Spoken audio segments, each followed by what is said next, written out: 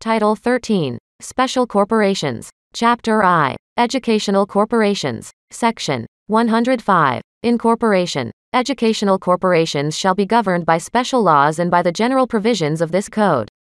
Section 106. Board of Trustees. Trustees of educational institutions organized as non-stock corporations shall not be less than 5 nor more than 15, provided that the number of trustees shall be in multiples of 5. Unless otherwise provided in the articles of incorporation or bylaws, the Board of Trustees of incorporated schools, colleges, or other institutions of learning shall, as soon as organized, so classify themselves that the term of office of one fifth of their number shall expire every year. Trustees thereafter elected to fill vacancies, occurring before the expiration of a particular term, shall hold office only for the unexpired period. Trustees elected thereafter to fill vacancies caused by expiration of term shall hold office for five years. A majority of the trustees shall constitute a quorum for the transaction of business. The powers and authority of trustees shall be defined in the bylaws. For institutions organized as stock corporations, the number and term of directors shall be governed by the provisions on stock corporations. Chapter 2 Religious Corporations. Section 107. Classes of religious corporations. Religious corporations may be incorporated by one or more persons. Such corporations may be classified into corporations sole and religious societies. Religious corporations shall be governed by this chapter and by the general provisions on non-stock corporations insofar as applicable.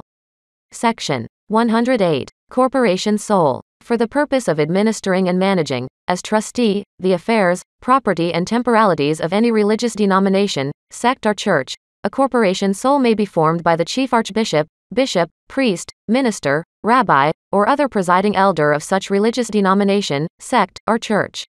Section 109. Articles of Incorporation. In order to become a corporation sole, the chief archbishop, bishop, priest, minister, rabbi, or presiding elder of any religious denomination, sect, or church must file with the Commission articles of incorporation setting forth the following A. That the applicant chief archbishop, bishop, priest, minister, rabbi, or presiding elder represents the religious denomination, sect, or church which desires to become a corporation sole. B. That the rules, regulations, and discipline of the religious denomination, sect, or church are consistent with becoming a corporation sole and do not forbid it. C. That such chief archbishop, bishop, priest, minister, rabbi, or presiding elder is charged with the administration of the temporalities and the management of the affairs, estate, and properties of the religious denomination, sect, or church within the territorial jurisdiction, so described succinctly in the Articles of Incorporation. D. The manner by which any vacancy occurring in the office of chief archbishop, bishop, priest, minister, rabbi, or presiding elder is required to be filled, according to the rules, regulations, or discipline of the religious denomination, sect, or church, and e. The place where the principal office of the corporation sole is to be established and located, which place must be within the territory of the Philippines. The Articles of Incorporation may include any other provision not contrary to law for the regulation of the affairs of the corporation. Section 110. Submission of the Articles of Incorporation. The Articles of Incorporation must be verified, by affidavit or affirmation of the Chief Archbishop, Bishop, Priest, Minister, Rabbi, or Presiding Elder, as the case may be, and accompanied by a copy of the Commission, certificate of election or letter of appointment of such Chief Archbishop, Bishop, Priest, Minister, Rabbi, or Presiding Elder, duly certified to be correct by any notary public. From and after filing with the Commission of the said Articles of Incorporation, verified by affidavit or affirmation, and accompanied by the documents mentioned in the preceding paragraph, such chief archbishop, bishop, priest, minister, rabbi, or presiding elder shall become a corporation sole and all temporalities, estate and properties of the religious denomination, sect or church theretofore administered or managed as such chief archbishop, bishop, priest, minister, rabbi, or presiding elder shall be personally held in trust as a corporation sole, for the use, purpose, exclusive benefit and on behalf of the religious denomination, sect or church, including hospitals, schools, colleges, orphan asylums, parsonages, and cemeteries thereof.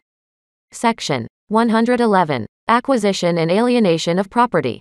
A corporation sole may purchase and hold real estate and personal property for its church, charitable, benevolent, or educational purposes, and may receive bequests or gifts for such purposes. Such corporation may sell or mortgage real property held by it by obtaining an order for that purpose from the regional trial court of the province where the property is situated upon proof that the notice of the application for leave to sell or mortgage has been made through publication or as directed by the court, and that it is in the interest of the corporation that leave to sell or mortgage be granted. The application for leave to sell or mortgage must be made by petition, duly verified, by the chief archbishop, bishop, priest, minister, rabbi, or presiding elder acting as corporation sole, and may be opposed by any member of the religious denomination, sect or church represented by the corporation sole. Provided, that in cases where the rules, regulations, and discipline of the religious denomination, sect or church, religious society, or order concerned represented by such corporation sole regulate the method of acquiring, holding, selling, and mortgaging real estate and personal property, such rules, regulations, and discipline shall govern, and the intervention of the courts shall not be necessary. Section 112. Filling of vacancies. The successors in office of any chief archbishop, bishop, priest, minister, rabbi, or presiding elder in a corporation sole shall become the corporation sole on their accession to office and shall be permitted to transact business as such upon filing a copy of their commission, certificate of election, or letters of appointment, duly certified by any notary public with the commission. During any vacancy in the office of chief archbishop, bishop, priest, minister, rabbi, or presiding elder of any religious denomination, sect or church incorporated as a corporation sole, the person or persons authorized by the rules, regulations or discipline of the religious denomination, sect or church represented by the corporation sole to administer the temporalities and manage the affairs, estate, and properties of the corporation sole shall exercise all the powers and authority of the corporation sole during such vacancy. Section 113. Dissolution. A corporation sole may be dissolved and its affairs settled voluntarily by submitting to the Commission a verified declaration of dissolution, setting forth a. The name of the corporation. b. The reason for dissolution and winding up. c. The authorization for the dissolution of the corporation by the particular religious denomination, sect, or church, and d. The names and addresses of the persons who are to supervise the winding up of the affairs of the corporation.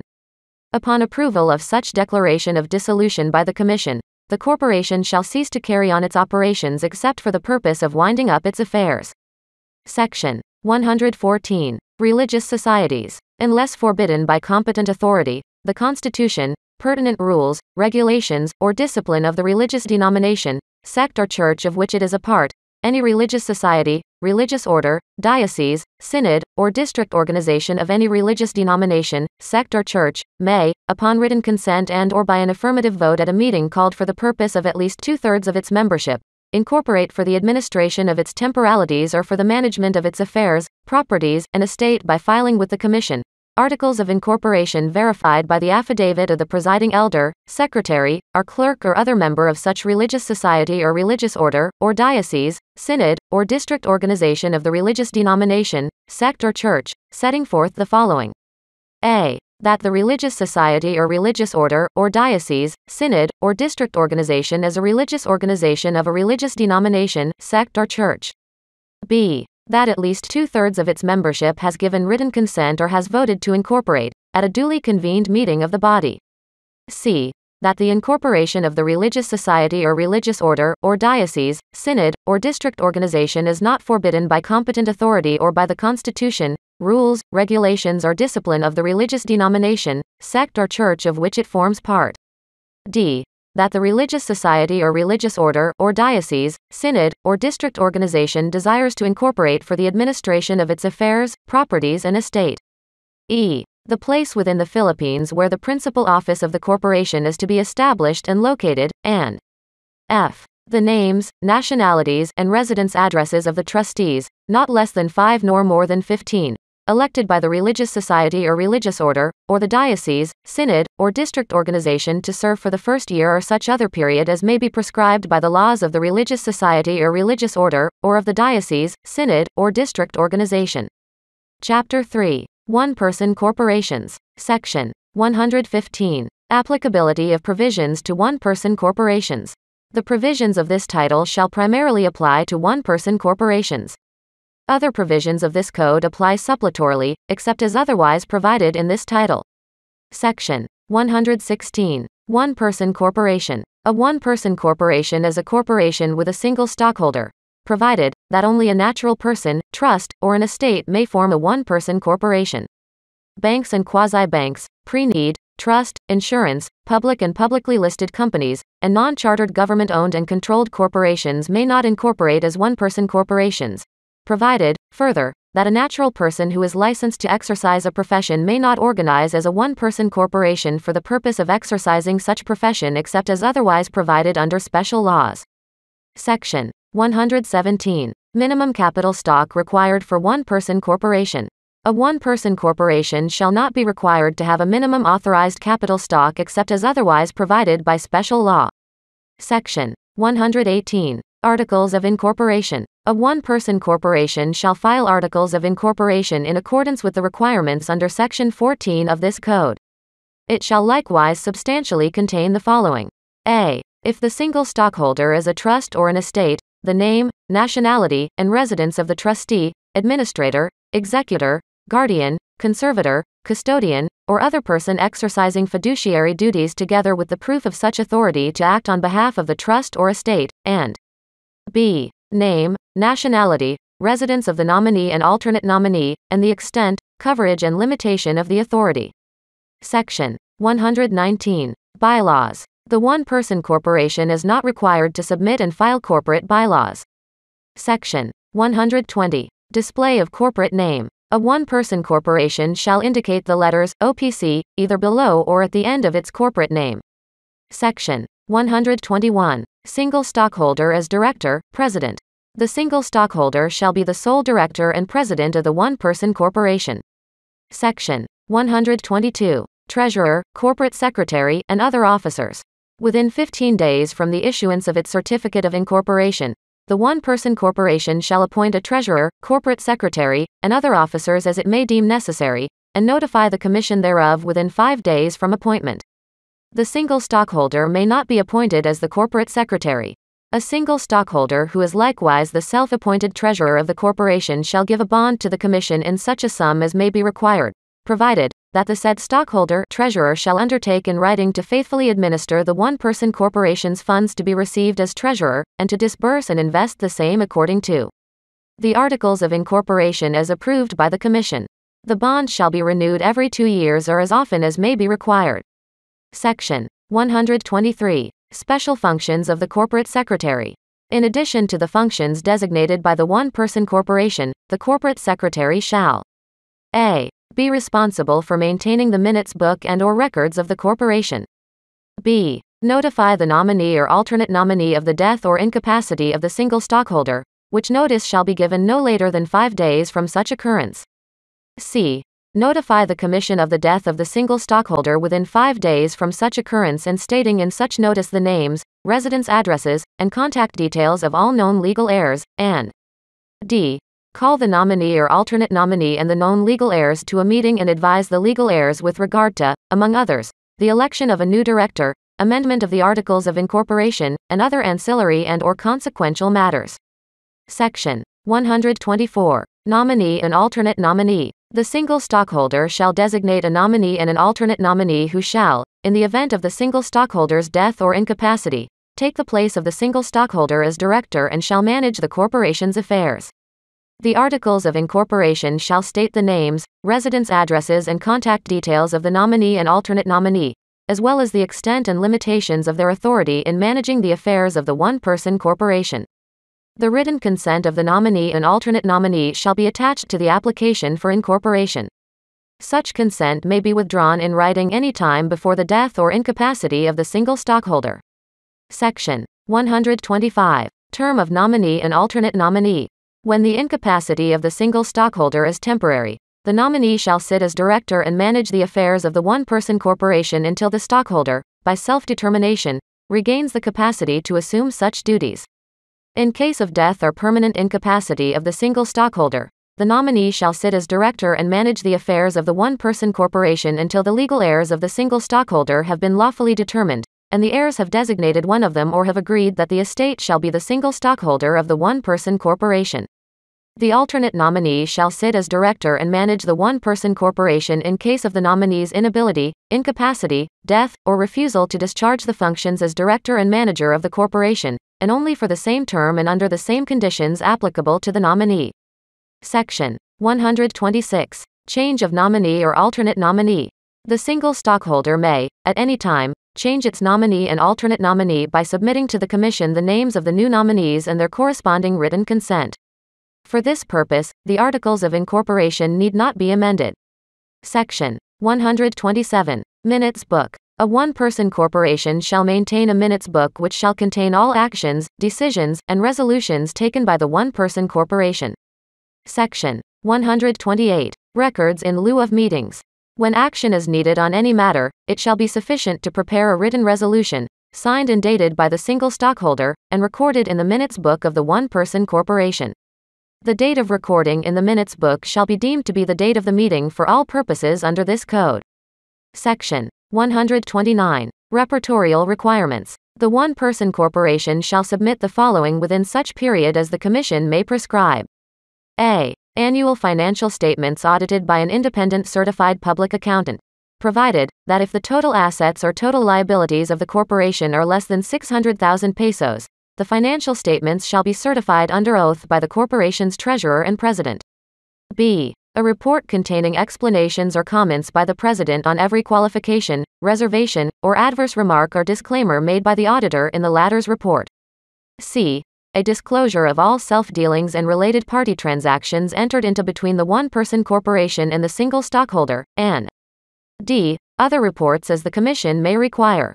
For purposes of this provision, the fiscal year of a one person corporation shall be that set forth in its articles of incorporation or, in the absence thereof, the calendar year. The Commission may place the corporation under delinquent status should the corporation fail to submit the reportorial requirements three times, consecutively or intermittently, within a period of five years. Section 130. Liability of single shareholder. A sole shareholder claiming limited liability has the burden of affirmatively showing that the corporation was adequately financed. Where the single stockholder cannot prove that the property of the one person corporation is independent of the stockholder's personal property, the stockholder shall be jointly and severally liable for the debts and other liabilities of the one person corporation. The principles of piercing the corporate veil applies with equal force to one person corporations as with other corporations. Section 131. Conversion from an ordinary corporation to a one person corporation. When a single stockholder acquires all the stocks of an ordinary stock corporation, the latter may apply for conversion into a one person corporation, subject to the submission of such documents as the Commission may require. If the application for conversion is approved, the Commission shall issue a certificate of filing of amended articles of incorporation reflecting the conversion. The one person corporation converted from an ordinary stock corporation shall succeed the latter and be legally responsible for all the latter's outstanding liabilities as of the date of conversion. Section 132. Conversion from a one person corporation to an ordinary stock corporation. A one person corporation may be converted into an ordinary stock corporation after due notice to the Commission of such fact and of the circumstances leading to the conversion, and after compliance with all other requirements for stock corporations under this code and applicable rules. Such notice shall be filed with the Commission within 60 days from the occurrence of the circumstances leading to the conversion into an ordinary stock corporation. If all requirements have been complied with, the Commission shall issue a certificate of filing of amended articles of incorporation reflecting the conversion. In case of death of the single stockholder, the nominee or alternate nominee shall transfer the shares to the duly designated legal heir or estate within seven days from receipt of either an affidavit of heirship or self adjudication executed by a sole heir, or any other legal document declaring the legal heirs of the single stockholder and notify the Commission of the transfer. Within 60 days from the transfer of the shares, the legal heirs shall notify the Commission of their decision to either wind up and dissolve the one person corporation or convert it into an ordinary stock corporation. The ordinary stock corporation converted from a one person corporation shall succeed the latter and be legally responsible for all the latter's outstanding liabilities as of the date of conversion. Title 14 Dissolution. Section 133. Methods of dissolution. A corporation formed or organized under the provisions of this code may be dissolved voluntarily or involuntarily. Section 134. Voluntary dissolution where no creditors are affected. If dissolution of a corporation does not prejudice the rights of any creditor having a claim against it, the dissolution may be effected by majority vote of the board of directors or trustees, and by a resolution adopted by the affirmative vote of the stockholders owning at least majority of the outstanding capital stock or majority of the members of a meeting to be held upon the call of the directors or trustees. At least 20 days prior to the meeting, notice shall be given to each shareholder or member of record personally, by registered mail, or by any means authorized under its bylaws. Whether or not entitled to vote at the meeting, in the manner provided in Section 50 of this code and shall state that the purpose of the meeting is to vote on the dissolution of the corporation. Notice of the time, place, and object of the meeting shall be published once prior to the date of the meeting in a newspaper published in the place where the principal office of said corporation is located, or if no newspaper is published in such place, in a newspaper of general circulation in the Philippines.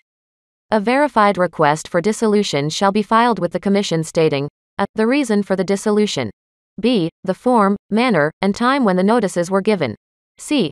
Names of the stockholders and directors or members and trustees who approved the dissolution. D. The date, place, and time of the meeting in which the vote was made. And E. Details of publication. The corporation shall submit the following to the Commission 1. A copy of the resolution authorizing the dissolution, certified by a majority of the Board of Directors or Trustees and countersigned by the Secretary of the Corporation. 2. Proof of publication. And 3 favorable recommendation from the appropriate regulatory agency, when necessary. Within 15 days from receipt of the verified request for dissolution, and in the absence of any withdrawal within said period, the Commission shall approve the request and issue the certificate of dissolution. The dissolution shall take effect only upon the issuance by the Commission of a certificate of dissolution.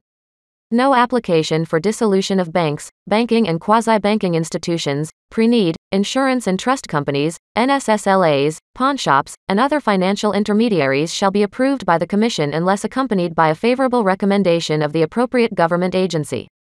Section 135. Voluntary dissolution where creditors are affected. Procedure and contents of petition. Where the dissolution of a corporation may prejudice the rights of any creditor, a verified petition for dissolution shall be filed with the Commission. The petition shall be signed by a majority of the corporation's board of directors or trustees, verified by its president or secretary or one of its directors or trustees, and shall set forth all claims and demands against it, and that its dissolution was resolved upon by the affirmative vote of the stockholders representing at least two thirds of the outstanding capital stock or at least two thirds of the members at a meeting of its stockholders or members called for that purpose. The petition shall likewise state a. The reason for the dissolution. B. The form, manner, and time when the notices were given. And c. The date, place, and time of the meeting in which the vote was made. The corporation shall submit to the Commission the following 1. A copy of the resolution authorizing the dissolution, certified by a majority of the Board of Directors or Trustees and countersigned by the Secretary of the Corporation. And 2. A list of all its creditors.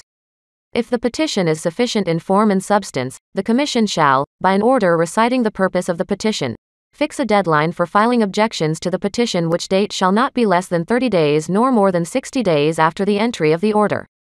Before such date, a copy of the order shall be published at least once a week for three consecutive weeks in a newspaper of general circulation published in the municipality or city.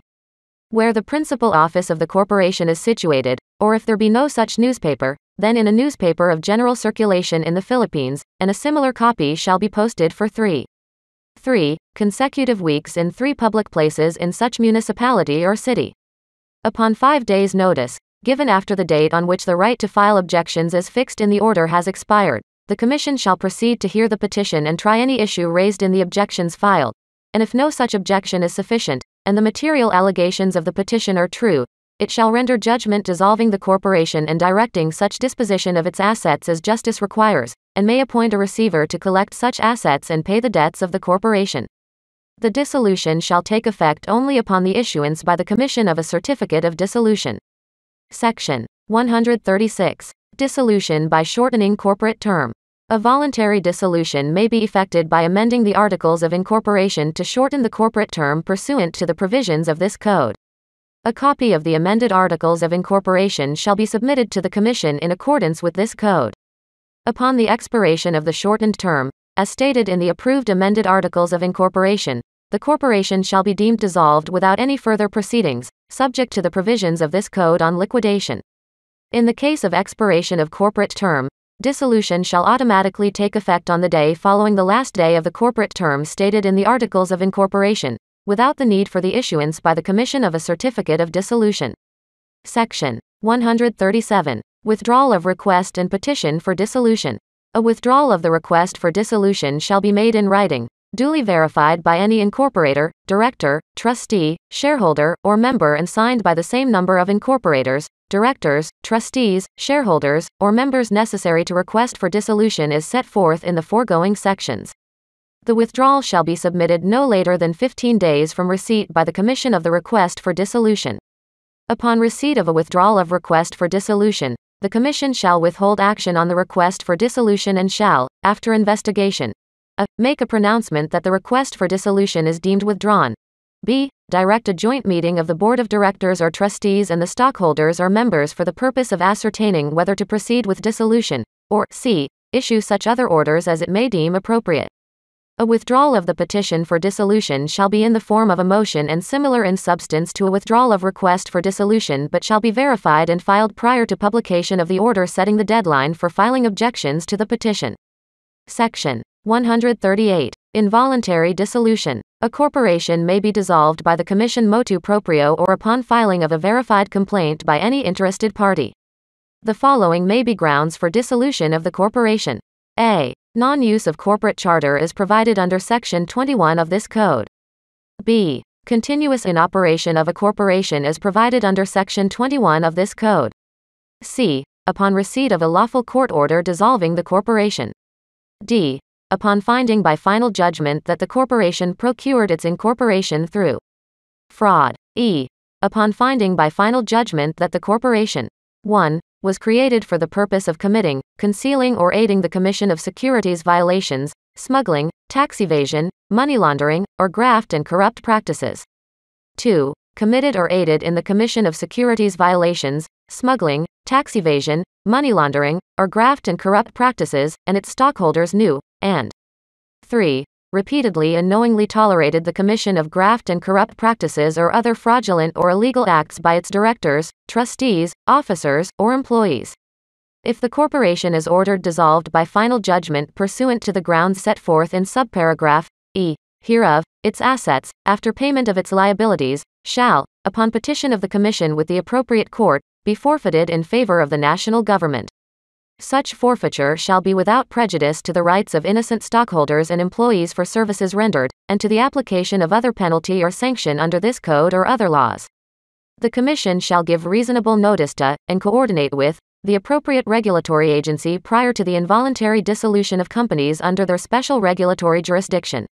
Section 139. Corporate liquidation, except for banks, which shall be covered by the applicable provisions of Republic Act No. 7, 6, 5, 3, otherwise known as the New Central Bank Act, as amended, and Republic Act No.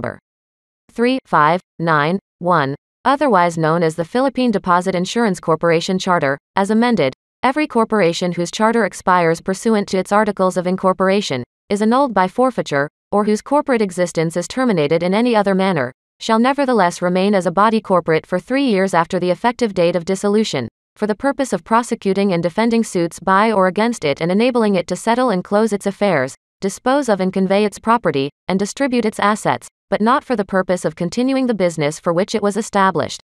At any time during said three years, the corporation is authorized and empowered to convey all of its property to trustees for the benefit of stockholders, members, creditors, and other persons in interest. After any such conveyance by the corporation of its property in trust for the benefit of its stockholders, members, creditors, and others in interest, all interest which the corporation had in the property terminates, the legal interest vests in the trustees, and the beneficial interest in the stockholders, members, creditors, or other persons in interest. Except as otherwise provided for in sections 93 and 94 of this code, upon the winding up of corporate affairs, any asset distributable to any creditor or stockholder or member who is unknown or cannot be found shall be escheated in favor of the national government. Except by decrease of capital stock and as otherwise allowed by this code, no corporation shall distribute any of its assets or property except upon lawful dissolution and after payment of all its debts and liabilities. Title 15 Foreign Corporations. Section 140. Definition and Rights of Foreign Corporations.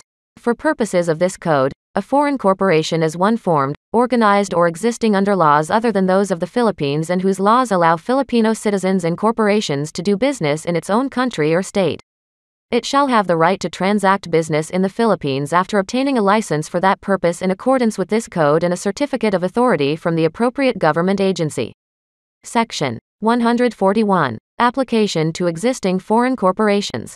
Every foreign corporation which, on the date of the effectivity of this code, is authorized to do business in the Philippines under a license issued to it shall continue to have such authority under the terms and conditions of its license, subject to the provisions of this code and other special laws. Section 142. Application for a license. A foreign corporation applying for a license to transact business in the Philippines shall submit to the Commission a copy of its articles of incorporation and bylaws, certified in accordance with law, and their translation to an official language of the Philippines, if necessary. The application shall be under oath and, unless already stated in its articles of incorporation, shall specifically set forth the following a. The date and term of incorporation. b. The address, including the street number, of the principal office of the corporation in the country or state of incorporation. C. The name and address of its resident agent authorized to accept summons and process in all legal proceedings and all notices affecting the corporation, pending the establishment of a local office. D. The place in the Philippines where the corporation intends to operate. E. The specific purpose or purposes which the corporation intends to pursue in the transaction of its business in the Philippines provided that said purpose or purposes are those specifically stated in the certificate of authority issued by the appropriate government agency. F. The names and addresses of the present directors and officers of the corporation. G.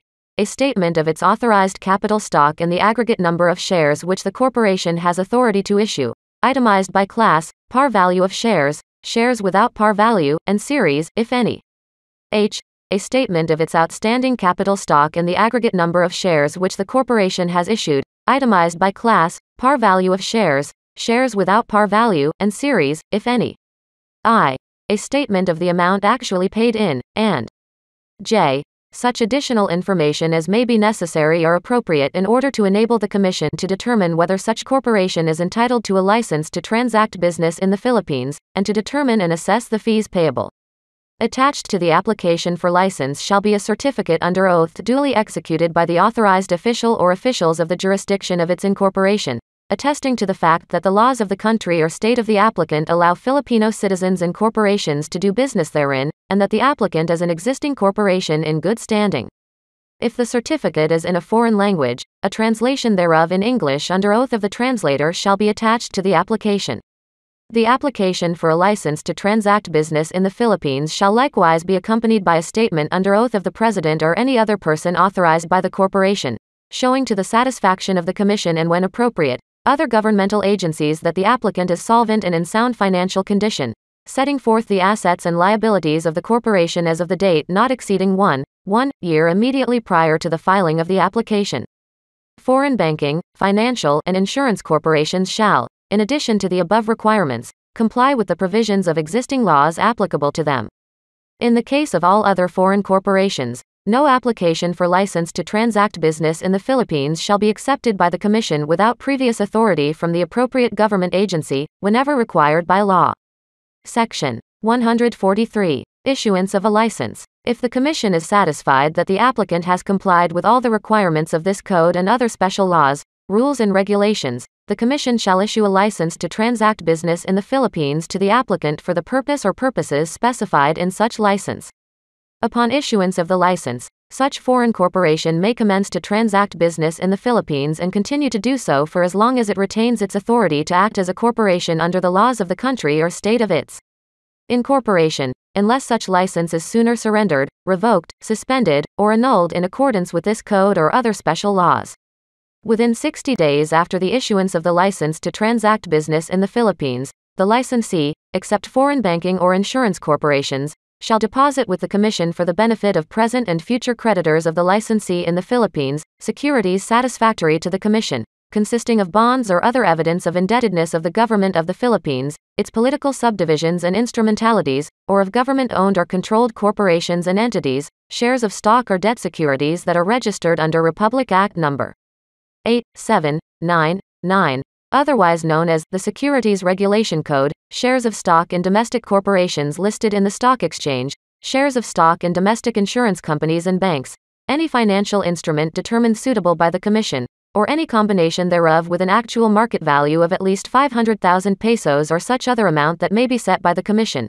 Provided, however, that within six months after each fiscal year of the licensee, the Commission shall require the licensee to deposit additional securities or financial instruments equivalent in actual market value to 2% of the amount by which the licensee's gross income for that fiscal year exceeds 10 million pesos. The Commission shall also require the deposit of additional securities or financial instruments if the actual market value of the deposited securities or financial instruments has decreased by at least 10% of their actual market value at the time they were deposited. The Commission may, at its discretion, release part of the additional deposit if the gross income of the licensee has decreased, or if the actual market value of the total deposit has increased, by more than 10% of their actual market value at the time they were deposited. The Commission may, from time to time, allow the licensee to make substitute deposits for those already on deposit as long as the licensee is solvent. Such licensee shall be entitled to collect the interest or dividends on such deposits. In the event the licensee ceases to do business in the Philippines, its deposits shall be returned, upon the licensee's application and upon proof to the satisfaction of the Commission that the licensee has no liability to Philippine residents, including the government of the Republic of the Philippines. For purposes of computing the securities deposit, the composition of gross income and allowable deductions therefrom shall be in accordance with the rules of the Commission. Section 144. Who may be a resident agent? A resident agent may be either an individual residing in the Philippines or a domestic corporation lawfully transacting business in the Philippines, provided that an individual resident agent must be of good moral character and of sound financial standing, provided, further, that in case of a domestic corporation who will act as a resident agent, it must likewise be of sound financial standing and must show proof that it is in good standing as certified by the Commission. Section 145. Resident Agent. Service of Process. As a condition to the issuance of the license for a foreign corporation to transact business in the Philippines, such corporation shall file with the Commission a written power of attorney designating a person who must be a resident of the Philippines, on whom summons and other legal processes may be served in all actions or other legal proceedings against such corporation, and consenting that service upon such resident agent shall be admitted and held as valid as if served upon the duly authorized officers of the foreign corporation at its home office. Such foreign corporation shall likewise execute and file with the Commission an agreement or stipulation, executed by the proper authorities of said corporation, in form and substance as follows. The name of foreign corporation hereby stipulates and agrees, in consideration of being granted a license to transact business in the Philippines, that if the corporation shall cease to transact business in the Philippines, or shall be without any resident agent in the Philippines on whom any summons or other legal processes may be served, then service of any summons or other legal process may be made upon the Commission in any action or proceeding arising out of any business or transaction which occurred in the Philippines, and such service shall have the same force and effect as if made upon the duly authorized officers of the corporation at its home office. Whenever such service of summons or other process is made upon the Commission, the Commission shall, within 10 days thereafter, transmit by mail a copy of such summons or other legal process to the corporation at its home or principal office. The sending of such copy by the Commission shall be a necessary part of and shall complete such service.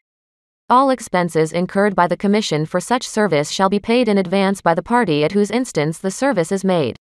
It shall be the duty of the resident agent to immediately notify the Commission in writing of any change in the resident agent's address. Section 146. Law applicable. A foreign corporation lawfully doing business in the Philippines shall be bound by all laws, rules and regulations applicable to domestic corporations of the same class, except those which provide for the creation, formation, organization or dissolution of corporations are those which fix the relations, liabilities, responsibilities, or duties of stockholders, members, or officers of corporations to each other or to the corporation. Section 147. Amendments to Articles of Incorporation or Bylaws of Foreign Corporations.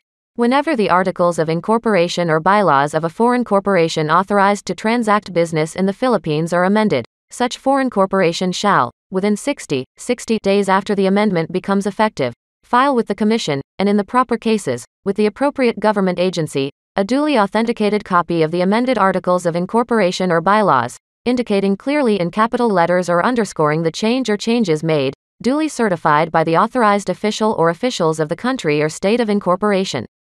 Such filing shall not in itself enlarge or alter the purpose or purposes for which such corporation is authorized to transact business in the Philippines. Section 148. Amended License. A foreign corporation authorized to transact business in the Philippines shall obtain an amended license in the event it changes its corporate name, or desires to pursue other or additional purposes in the Philippines, by submitting an application with the Commission, favorably endorsed by the appropriate government agency in the proper cases. Section 149. Merger or consolidation involving a foreign corporation licensed in the Philippines.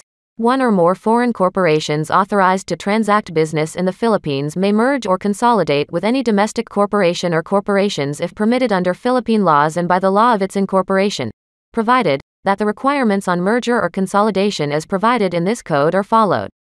Whenever a foreign corporation authorized to transact business in the Philippines shall be a party to a merger or consolidation in its home country or state as permitted by the law authorizing its incorporation, such foreign corporation shall, within 60 days after the effectivity of such merger or consolidation, file with the Commission, and in proper cases, with the appropriate government agency, a copy of the articles of merger or consolidation duly authenticated by the proper official or officials of the country or state under whose laws the merger or consolidation was effected, provided, however, that if the absorbed corporation is the foreign corporation doing business in the Philippines, the latter shall at the same time file a petition for withdrawal of its license in accordance with this title.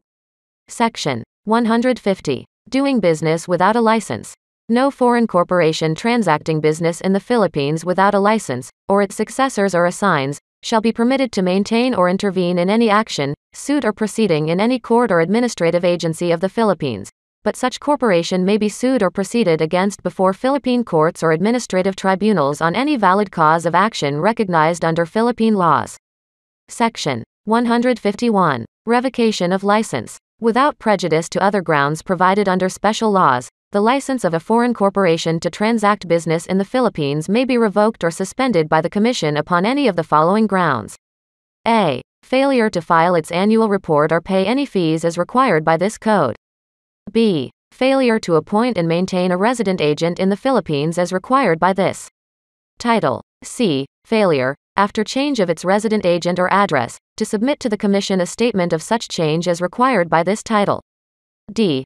Failure to submit to the Commission an authenticated copy of any amendment to its articles of incorporation or bylaws or of any articles of merger or consolidation within the time prescribed by this title. E. A misrepresentation of any material matter in any application, report, affidavit, or other document submitted by such corporation pursuant to this title. F failure to pay any and all taxes, imposts, assessments or penalties, if any, lawfully due to the Philippine government or any of its agencies or political subdivisions. G. Transacting business in the Philippines outside of the purpose or purposes for which such corporation is authorized under its license. H. Transacting business in the Philippines as agent of or acting on behalf of any foreign corporation or entity not duly licensed to do business in the Philippines, or I. Any other ground as would render it unfit to transact business in the Philippines.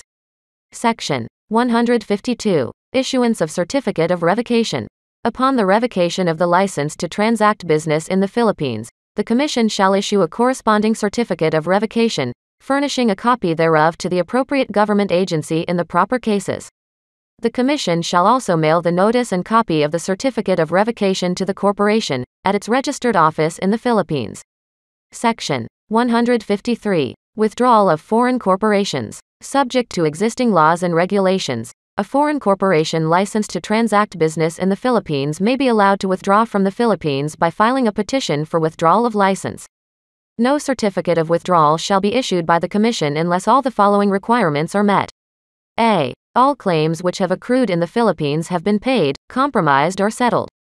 B all taxes, imposts, assessments, and penalties, if any, lawfully due to the Philippine government or any of its agencies or political subdivisions, have been paid, and c. The petition for withdrawal of license has been published once a week for three consecutive weeks in a newspaper of general circulation in the Philippines.